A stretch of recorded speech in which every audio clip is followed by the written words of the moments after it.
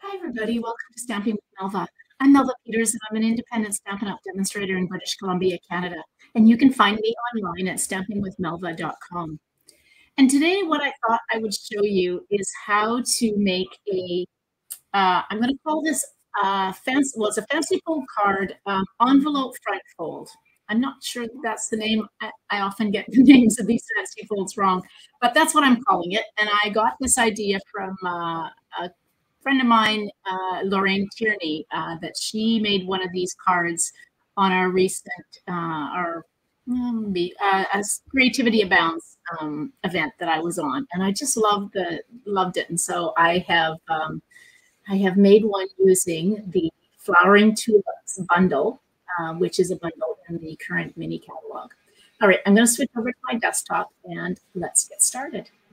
Now, first of all, um, show you the bundle. And then um, the other thing that you should remember is I'm going to give you all will be on my blog, and my, the link to my blog um, is underneath this video. So if you miss any of the measurements as you're going through, you'll be able to get them on in the instructions on my blog post. Um, or if you have questions, just leave a comment on this video, or if you're over on my blog, leave a comment there. I'm happy to help you. Okay, so first of all, this is the, the bundle. Comes with um, the stamp set and the dies. And I know I've showed this before. I love this stamp set um, because of the sentiments, um, especially this one. I'm using this one, this round sentiment with the thank you today, but it's it's happy birthday, thinking of you. It's great. Happy Mother's Day. And then you could stamp the, the tulip images. And then the dies, these are the dies that I've used. So you can create three-dimensional tulips. That's what I've got, leaf, um, and then the other dies that it comes with is this great border die that you can make a whole row, a row of tulips. Um, then you can cut out the stem, the stems. Um, the, this is the larger leaf, and then these tulips, um, and a little bit of, um, I guess it's kind of like grass that would be growing up. And then this die, get it off of here. Oh, it's stuck. No, can't get it off without making a mess. Uh, it creates just uh, little little squares, cuts out little squares. So it's great for adding some texture. All right, let's move these away. I'm going to put that back in there. Lose it. These away. All right, I'll keep these dies out so I can show you what I've already gone ahead and cut out. Now, for my supplies, I have got a piece of petal pink cardstock that is five and a half by eight and a half. And I'm going to go ahead and score it at four and a quarter.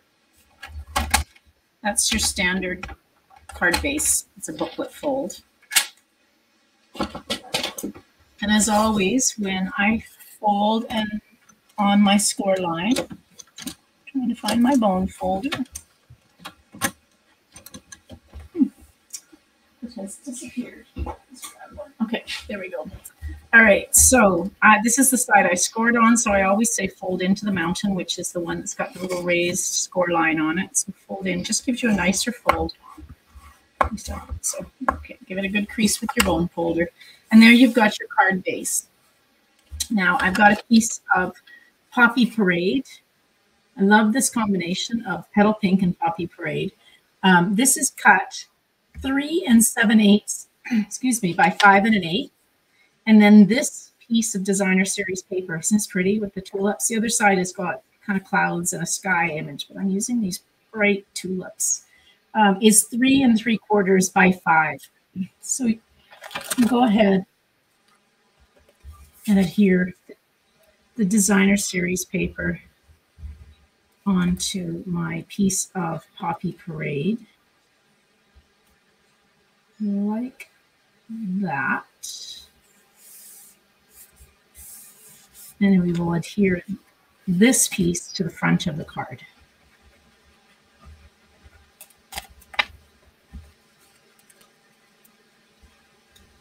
So it's a little bit, a little bit of a different size than the normal. I just kind of decided I just wanted a peekaboo of the poppy parade.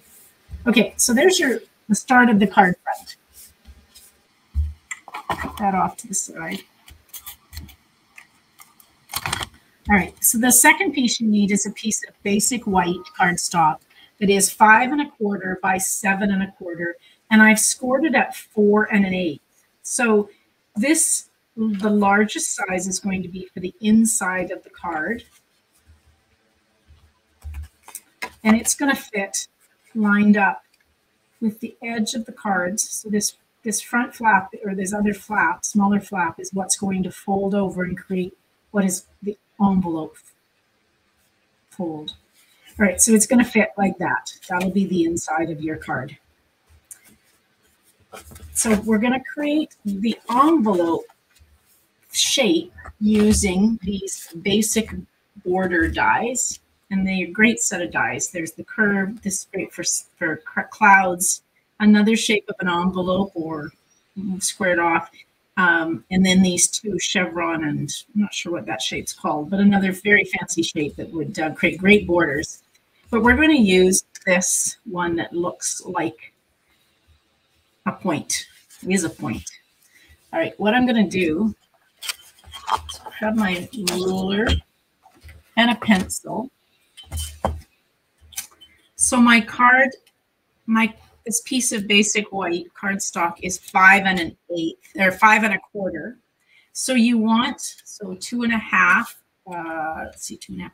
So what's half of that? Two and a half. I should have, should have thought about this. Two and a half. I think it's at two and five eighths. Two and five eighths. Uh, yes. Okay. So the measure, the middle of this is two and five eighths. So I'm just going to put a little mark at two and five eighths, and then I'm going to take my my basic border, this die, and put it on. And I'm going to use just a piece. You can use a post-it note. I'm just going to use just a couple of pieces of post-it note tape, getting it pretty even in the half. You, if you want, if you're really wanting to be exact, you can measure down the same distance and get it exact. But uh, I've just eyeballed it and I'm reasonably happy with that. As long as my point is in the middle of, of the, the long side of the paper. Now I'm going to take this, actually let me bring my Stampin' Cut and Emboss machine in. And we're just going to take and cut this piece so that you will end up with what looks like the point of an envelope, a flap of an envelope. All right. There we go. Let's put the machine out of the way.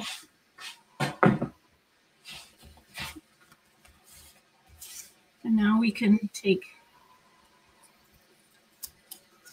I just like to hold it in, in place. The nice thing about these dies too, the other I didn't say, is they're all stitched, which is, they're amazing. Save my post-it note tape for when I need it again. Again, you can use post-it notes if you haven't got post-it note tape. All right, so there's the front of my card. So it's going to, as I said, this is going to be the inside. And now we're going to adhere this to the, to the inside of the card with the flap to the front. So I need to put adhesive on this back side.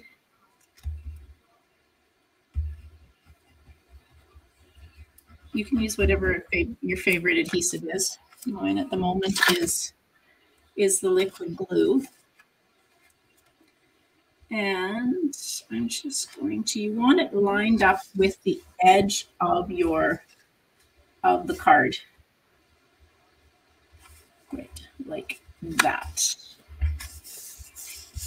There we go. Okay, so we'll press that down. So now this will fold over like that. Somewhere I have one of these handy dandy adhesive. I've got some a little bit of adhesive from my post-it note. We don't sell these anymore. I think you can get them at the dollar store or another uh, craft store. Unfortunately, we don't sell them, but they're great just to get um, little bits of adhesive off. All right, so there is your your envelope fold. Now, what we're going to do is we're going to put um, a sentiment here, and it's going to actually hold these closed. Um, but now we're going to decorate it with some tulips. So I've gone ahead and cut out the tulips, and I'll show you how I've what I've used. And I've gone ahead and done some stamping as well. All right, so there are three main dies for the bodies of the tulip. that give you three different shapes. Two, two of them give you kind of larger tulips, and then this one gives you a bud. And then there are four shapes that give you the insides of the tulips. So I have gone ahead and cut um, these out. So that one is that one. That one is that one. That one. And then these These are the four, the four pieces for the insides. And they're really easy to put together because when you cut these out, they have a little score line. So you're just going to take and fold on the score line and voila, you have a tulip. And you can use either side. I'm going to use the these uh, the Poppy Parade with the polka dot side. And on this one, you're just folding on, there is one score line. So it creates a tulip shape like that. And then this one creates the bud like that. And then these pieces go on the inside. So I'm going to change it up here. This one is going to go in here. Um, this one is going to go in here like this. And I'm going to use some dimensionals. I think I'll use the Poppy Parade there to um, kind of pop these up a little bit. And on the inside of this one, I actually, I'm just going to use one of one of these. Not sure why I have the extra one. Okay, so I've got those. Let's get the dies out of the way so I don't lose those.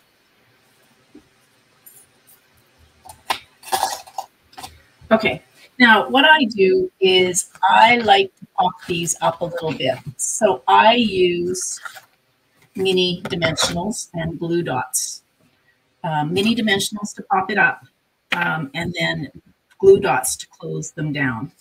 So I'm just going to take and put a couple of the mini dimensionals on each of the inside pieces.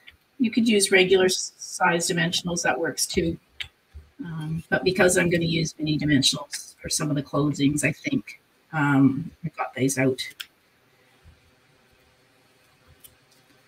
So that's that. And then one more inside. I just like it when the, they, they're three dimensional. So let's make them look three dimensional. All right, so this one goes on the inside of, oh, this one goes on the inside of this piece. So we'll just take and put that on the inside like that with the dimensionals. And then I'm just going to take a glue dot and close that. Let's do this one. This is the bud. So it's going to go, let's see, this bud go in there. I don't know. There we go. That, and then we'll use glue dots to close down, close the bud. And one more.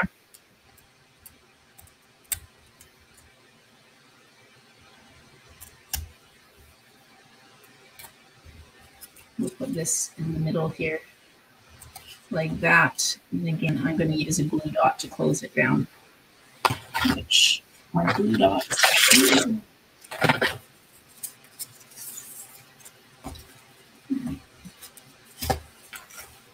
There. All right, so let's just take a glue dot and we will just put it right here and press down and close that tulip.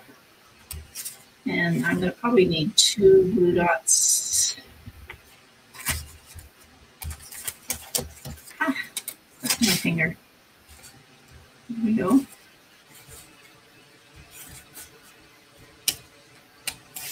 Close that one down.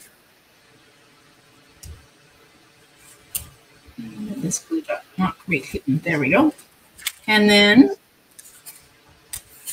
for the bud, we will put one glue dot here. Who's that? Everything's sticking this morning. And then I think I need one over here to close up the side of it. There we go. All right, so I now have two of my tulips made. so if I bring my card back in, what I'm going to do is I'm going to stamp my stems on this this front flap and then I'll put my tulips on. So I'll open up my card and let's bring in I'm using Evening Evergreen to stamp. Probably could have used um, Mossy Meadow, but I'm actually, I've got the Evening Evergreen out. So I'm going to stamp three stems.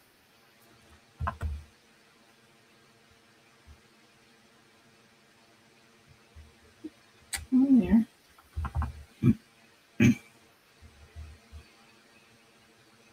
On there. And like that. You could um, stamp these on uh, basic white cardstock and cut them out. There is dies to cut out the stems, but I'm going to just stamp my stems. And now I am going to use the regular size dimensionals to put my my tulips on. So we'll put this one in the middle.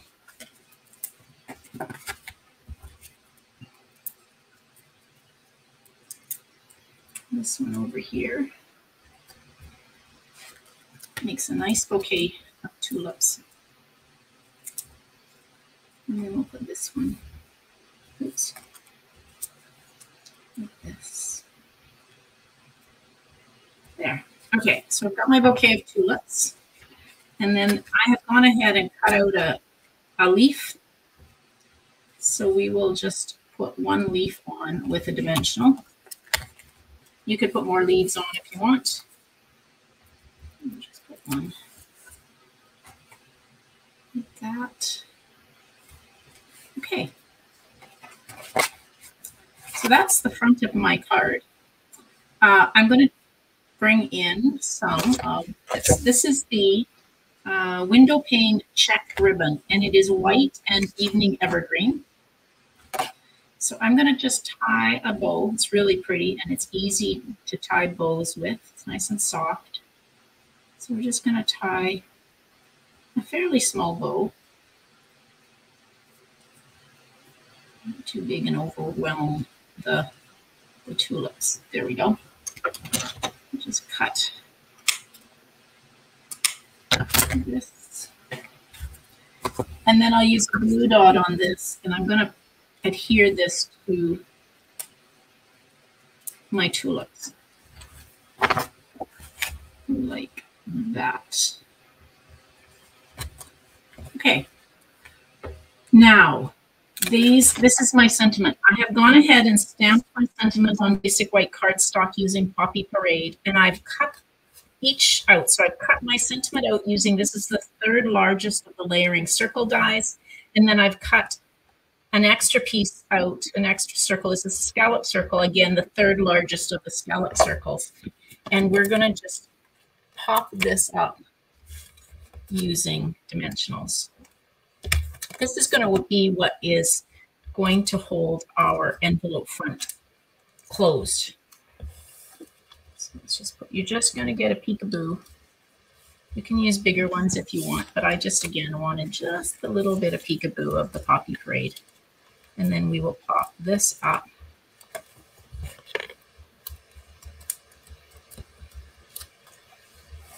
Now, we want this to stay closed.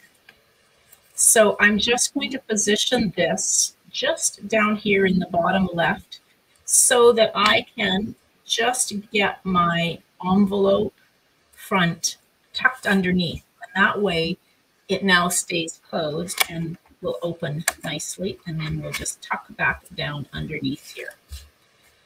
Okay, so the last thing I need for the front of my card are some of these great, um, these are the brass, I'm going to say this, brass brushed butterflies.